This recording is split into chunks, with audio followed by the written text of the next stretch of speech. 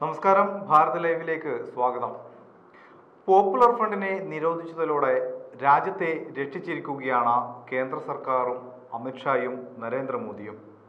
കാരണം രണ്ടായിരത്തി നാൽപ്പത്തി ഏഴിൽ രാജ്യത്ത് ഇസ്ലാമികവൽക്കരണം ഇസ്ലാമിക രാജ്യം ഇസ്ലാമിക ഭരണം കൊണ്ടുവരാനാണ് പോപ്പുലർ ഫ്രണ്ട് ശ്രമിച്ചതെന്നാണ് കഴിഞ്ഞ ദിവസം നൽകിയ കുറ്റപത്രത്തിൽ ഈ റിപ്പോർട്ട് നൽകിയിരിക്കുന്നത്. അതായത് അത്രത്തോളം വലിയ ഭീകര ഭീകരഭാ ഭീകരവാദ പ്രവർത്തനങ്ങളാണ് പോപ്പുലർ ഫ്രണ്ട് കേരളത്തിലടക്കം നടത്തിയിരിക്കുന്നത് എന്നാണ് ഈ കുറ്റപത്രത്തിലൂടെ വ്യക്തമാവുന്നത്. കേരളത്തിൽ നിന്ന് മാത്രം അമ്പത്തി ഒമ്പത് പേരാണ് കഴിഞ്ഞ ഈ പോപ്പുലർ ഫ്രണ്ട് നിരോധനവുമായി ബന്ധപ്പെട്ട് കേരളത്തിൽ നിന്ന് മാത്രം അറസ്റ്റിലായത്. പ്രതിപ്പട്ടയിൽ അറുപത്തി എട്ട് പേരാണ് ഉണ്ടായിരുന്നത്.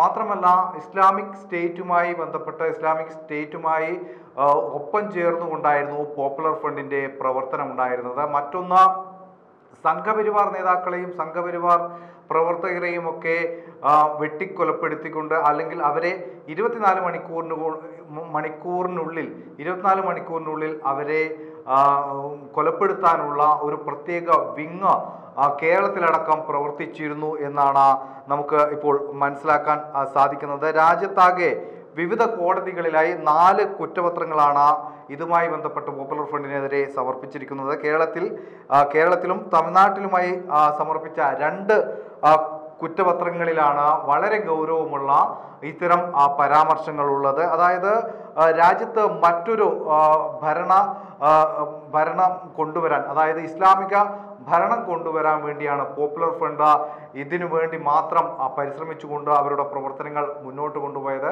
അതിൽ ഏറ്റവും പ്രധാനപ്പെട്ടത് കേരളത്തിൽ ഇവർക്ക് വേണ്ട സഹായങ്ങളെല്ലാം ലഭിച്ചിരുന്നു എന്ന് തന്നെയാണ്. കാരണം നമുക്കറിയാം കേരളത്തിൽ ഇപ്പോൾ തുടർച്ചയായി എൽ ഡി എഫ് സർക്കാർ ഭരിക്കുന്നു. ആ, മുമ്പ് യു ഡി എഫ് സർക്കാർ ഭരിക്കുമ്പോൾ പോലും ഇവർക്ക് ഇത്തരം തീവ്ര മുസ്ലിം സ്വഭാവമുള്ള സംഘടനകൾക്ക് പല രീതിയിൽ ന്യൂനപക്ഷ ഒരു പരിഗണന വെച്ചുകൊണ്ട് പല രീതിയിലുള്ള സഹായങ്ങൾ ഇരു ഇരു മുന്നണികളും നൽകിയെന്ന് ബി ജെ പി അടക്കമുള്ള പ്രതിപക്ഷ പാർട്ടികളുടെ ആരോപണങ്ങൾ ഉണ്ടായിരുന്നു. അതുകൊണ്ട് തന്നെയാണ് രാജ്യത്ത് ഏറ്റവും വലിയ ഒരു പ്രവർത്തന മേഖലയായി പോപ്പുലർ ഫ്രണ്ടിനെ കേരളം മാറിയത്. എന്തായാലും പോപ്പുലർ ഫ്രണ്ടിനെ നിരോധിച്ചതിനെ തുടർന്ന് പല രീതിയിലുള്ള വിമർശനങ്ങൾ എൽ ഡി എഫിന്റെയും യു ഡി എഫിന്റെയും നേതാക്കളുടെ ഭാഗത്തു നിന്നും ഉയർന്നിരുന്നു. എന്നാൽ ഇപ്പോൾ സത്യം വ്യക്തമാവുകയാണ്. രാജ്യത്തെ രക്ഷിക്കാൻ വരും തലമുറയെ രക്ഷിക്കാൻ വേണ്ടി അമിത്ഷായും നര- നരേന്ദ്രമോദിയും കേന്ദ്ര സർക്കാരും എടുത്ത ഏറ്റവും വലിയ തീരുമാനമായിരുന്നു പോപ്പുലർ ഫ്രണ്ട് നിരോധനം.